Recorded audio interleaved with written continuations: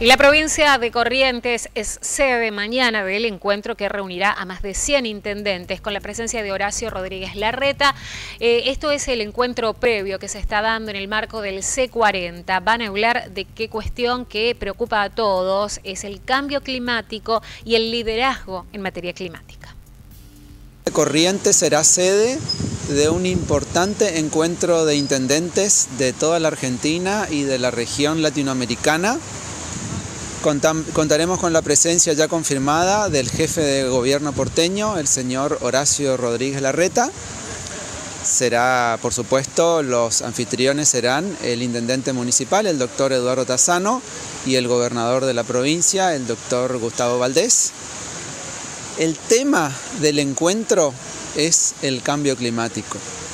Y esto está enmarcado en el grupo de ciudades que se llama C40, de la cual la ciudad de Buenos Aires, como capital de la República Argentina, es la representante ante, ante, esta, ante, este, ante esta red. Y la ciudad de Buenos Aires va a ser la sede del encuentro mundial de alcaldes por el cambio climático en el mes de octubre.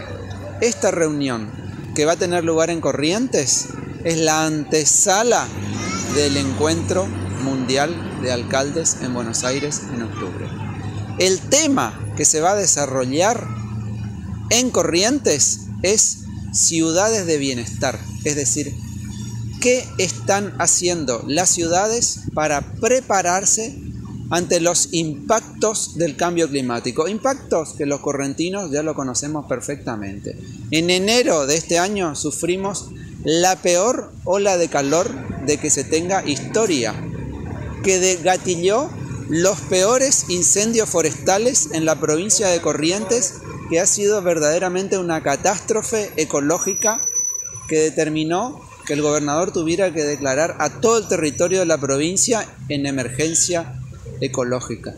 Entonces, ante los efectos del cambio climático que ya, no, ya lo estamos sintiendo hoy, ¿qué están haciendo las ciudades para prepararlas y para generar acciones de bienestar para sus ciudadanos?